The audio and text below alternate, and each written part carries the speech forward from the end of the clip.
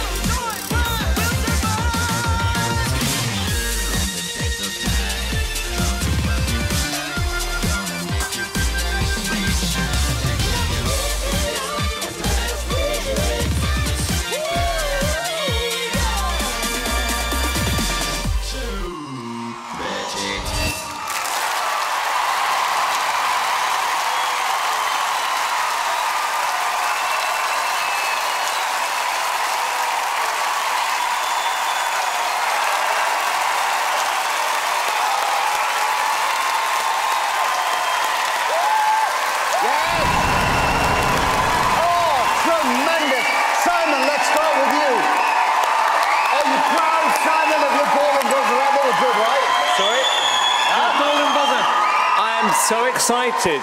I mean, uh, yeah, I mean, uh, it doesn't matter who pressed the golden buzzer. I mean, brilliance is brilliance. That was, for me, like a glimpse into the future. It was just amazing. You are so talented. You make your own music. And I have to say, for all these contestants who fly all over the world to appear on this show, because performing in front of the royal family means a lot, it's such an honor for us. And we're seeing something so unique and incredible. I'm, my mind is absolutely blown right now. Oh my God! The choreography, the precision, the sharpness. But what happened, it, the, wa- it was so clear. It felt like you hit right in the middle of every note. You know, never beyond, never below, right there. Crystal clear, flawless. Love it. Flawless. Alesha. I mean, there wasn't one missed moment. I would go as far as to say, for me, this is one of the slickest dance acts I've ever seen on the Britain's Got Talent stage. You were so clean, it was tight, it was perfection. The fact that you make your costumes, your music, I mean, you are incredible. You smashed it tonight. Well done. Manda, very quickly. Yeah, I mean, we're all about raising the bar on this show. We see so much talent over the years, and it's all about setting it a little bit higher. And you are next level brilliant. Thank you, judges. Thank you, guys. Thank you and so what has been the reaction back home in Japan to you getting Simon Cowell's golden buzzer? Yes. Uh, our family is Clyde. And. Sorry.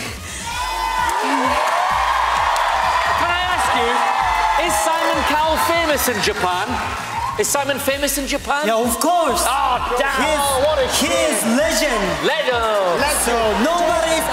Don't yeah. make it worse. We And get it. everyone knows him. Oh, I used to like you guys.